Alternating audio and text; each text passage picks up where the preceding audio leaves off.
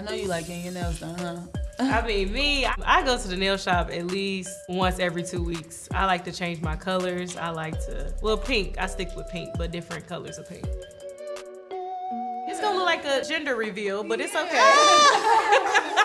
it's leaving you pregnant. Oh my god. I mean, I'm not. I'm not. Okay, I'm not. Don't, don't, don't even worry about that one though. We ain't gonna worry about that. We could work with that.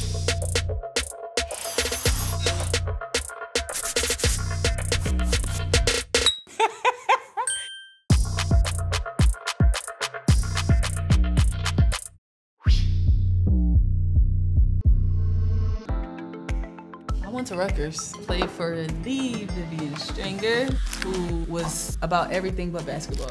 She made sure we were humble, respectful. It's so crazy because when I took my visit to Rutgers, you know, I never really thought I was like big time, but like I was enjoying those visits, and you know, I was kind of cool on my on my visit, and she didn't like my energy. She Wasn't feeling she it. wasn't feeling it. She was like, "You having a good time? Like, is everything okay?" And I'm Uh-huh. like, "It's cool." And she was just like, "Like, do you want to be here?" And I'm like, "Yeah." And she was like, "You know what? I'm gonna take that scholarship." Like, she took my scholarship on my visit, on my official visit. Yeah, she's like, you need to act Yeah, like you really yeah. want to be here.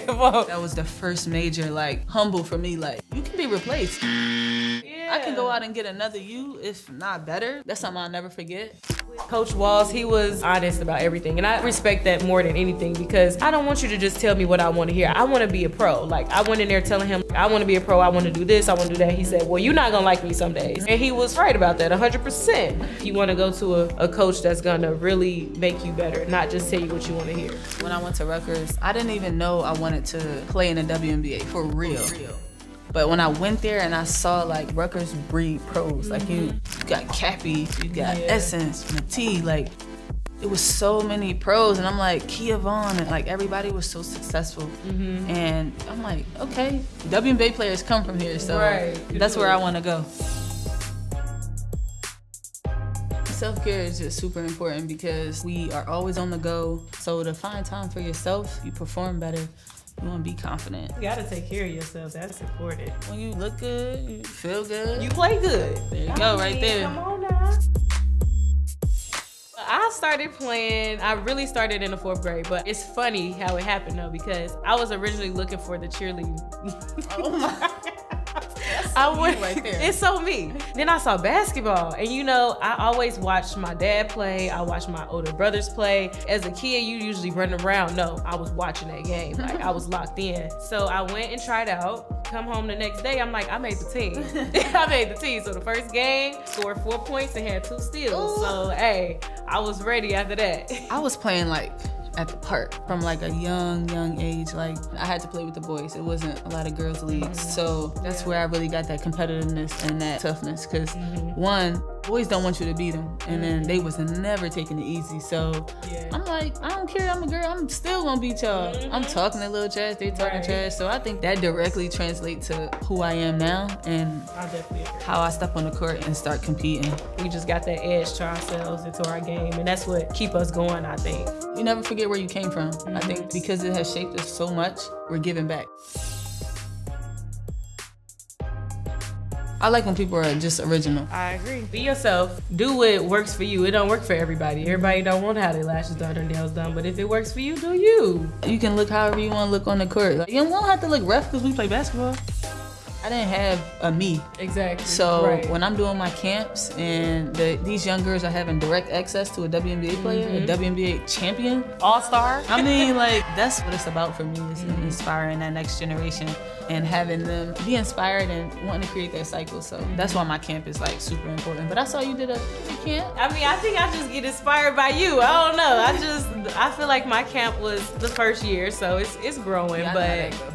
I'm little sis, so I'm just trying to be like you one day, man. Nah, I'm trying to get you. like you. I just like to be like an inspiration for for the younger generation and especially the ones that's like not tall. Think about it. It's a lot of players that feel like they're too short. It's hard, but you can do it. So I want to be the inspiration to the to the young ladies that are more on the five, five, five, six side and let them know that you can do it too.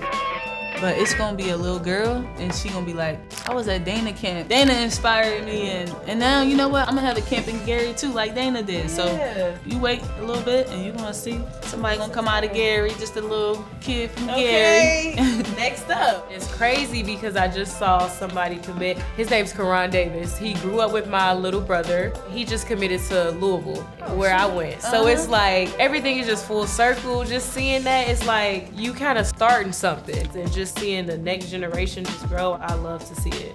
Watching the next generation is amazing. I love to see the young girls. Duncan, Kiyomi. Oh Kiyomi, yeah, she's the handles. fire. I love the Fire. handles. It's something about her swag. It's just like her demeanor. She But- got something to her. You should be able to 1000% be yourself on the court. Mm. If somebody inspire her to be herself, and she's sure. definitely inspiring the generation below her to be competitive, you know, Mm-hmm. be yourself, look cute on the court. look cute and talk stuff. Yeah. Like we can do that. Just cause we look cute don't mean we can't get a little feisty. Yeah. I like Deja Kelly too. UNC. Yeah, Yeah. I like Deja Kelly. I like Diamond Miller. I love her game. He's pro ready. She got a little dog in her too. What's real crazy is I just really start getting my nails done very consistently. Make sure you looking good. Hair gonna be done too. I mean, we don't play like that. Nah, that's one thing that's going. I ain't never leaving that out. I mean, I might had- not get them nails done, but I'm gonna get that. but the hair gonna be done. I mean, hair gotta be done. For sure. How do you feel knowing like this is your team? I was always a leader, Mm-hmm. but I always could, you know, take a short back seat because I had Candace, I had Sloot, you know, I had them. But now it's it's like it's me, yeah. and I know what I wanted in my leaders. So that's got to be me. Mm-hmm. No doubt I'm ready. I have the experience. I'm more of a lead by example anyway, and I know how I want the team to be. Mm-hmm. Uh, as far as a culture standpoint, you know, we we For talking sure. culture Big first. culture. Big on culture. Mm-hmm. The basketball and the skills are gonna come. You know, we have the talent. How are you approaching this season? You know, with it being so wide open. I'm just ready to just show what I can do. You know, I'm just happy that it finally came. I think I'm ready for the moment though. I think I've been preparing for it and it's finally here and I'm ready to take it on. You know what it takes and you know what, what we have to bring every single day. So don't ever think that you're like you're too young to like nah. You gotta be very vocal. Uh, you gotta be very consistent. Like I think this year our approach has gotta be different. I'm gonna make sure that Dana, what you talking? You counting? You Yeah, yeah. Everything. Like I'm not even I'm not even playing games because you know, like we have the blueprint. You know, mm-hmm. like when, when Candace came and I was like, yo, you got the blueprint. Like mm-hmm. she's taught me so many lessons and so many things. We have that now and we know how to win a championship. So we just gotta lead the train to the destination.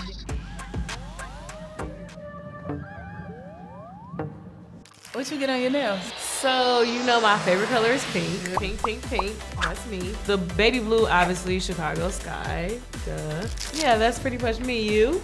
Well, I got my funny bunny base. I'm a funny bunny girl. Not white, white, but it's like a new. I got a flame. That's just me. I'm just fiery. Woo! The flames had you feeling good. One, Feeling one yourself. finger though, I ain't get carried away. Okay. I always gotta include my son. You see Sonny little paw print right there. Chessboards. I'm out there playing chess. Okay. And I got a All star right. because I'm a star. Okay. Like, I got a basketball because I play basketball. In the blue, you know. Shot town stand up. Show them things off.